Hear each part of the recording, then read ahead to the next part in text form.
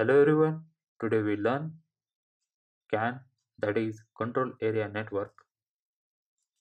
What is CAN? Working of CAN CAN frame format.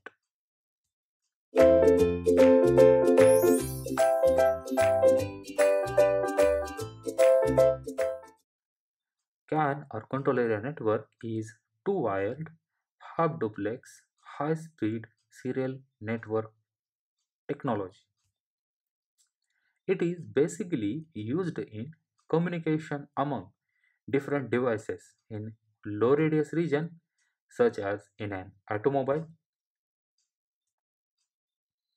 A CAN protocol is CSMA CD or ASM protocol or carrier sense multiple access collision detection arbitration on message priority protocol. CSMA ensure each node must wait for a given period before sending any message. A collision detection ensure that the collision is avoided by selecting the message based on their prescribed priority. It provides a signaling rate from 125 kbps to 1 mbps. It provides for 2048 different message identifiers. Let's see working of CAN. It is ISO 11898 standard and makes use of the 7 layer open system interconnect model. It was developed by Robert Bosch in 1982. The first car integrating CAN bus was manufactured by Mercedes-Benz in 1992. This is a CAN architecture. It will include a CAN bus line which is connected to a CAN transceiver. Transceiver is included in a physical layer of a ISO model. It is physical device which is connected to a embedded CAN controller. Embedded CAN controller is nothing but a data link layer. It is used to link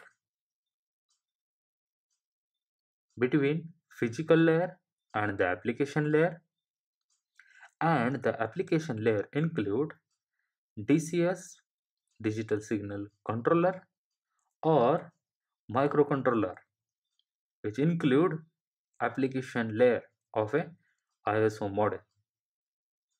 This is actual working model of CAN bus. Let's see frame format of CAN which include start frame, identifier, RTR, IDE, R0, DLC, data, cyclic redundancy check, CRC,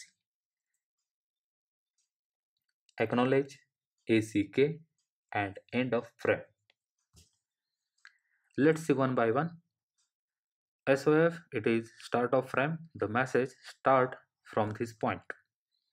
Identifier it identifies the priority of message lower the binary value higher is the priority. It is 11 bit. RTR remote transmission request it is dominant each information is required from another node. IDE single identification extension. If it is dominant, it means a standard CAN identifier with no extension is being transmitted. R0 it is reserve bit 0. Mm-hmm. DLC it is data length code. It defines the length of data being sent. It is 4 bit. The data is up to 64 bit of data can be transmitted. CRC it is cyclic redundancy check.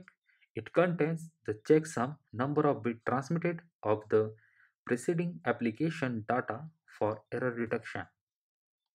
ACK it is nothing but acknowledge. It is for 2 bit. It is dominant if an accurate message is received. AOC is the end of frame.